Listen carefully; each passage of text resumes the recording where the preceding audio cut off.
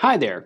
If you have significant issues with your Samsung Galaxy Watch 3, let's say you forgot your pattern, PIN or password and you can no longer unlock it, or if your Samsung Watch is getting slow, touch is not working, watch is frozen, or some features don't work, or if you want to sell your watch, you might want to know how you can reset your Samsung Galaxy Watch 3 to do all that work.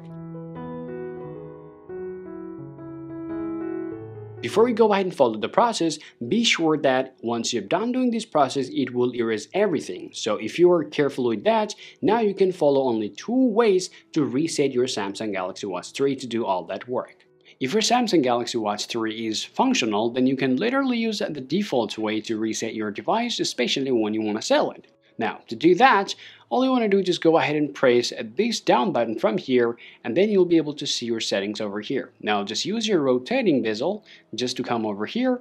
Now, go ahead and press that setting from here. And now, you need to scroll down. Now, choose your general.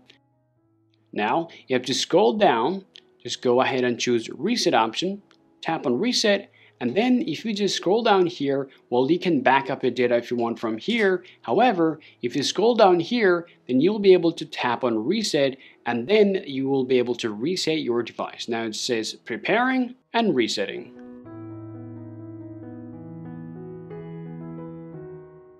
Well, after that, once your reset is done, now this is going to ask you to reset up your Samsung watch. Now you can feel free to sell it.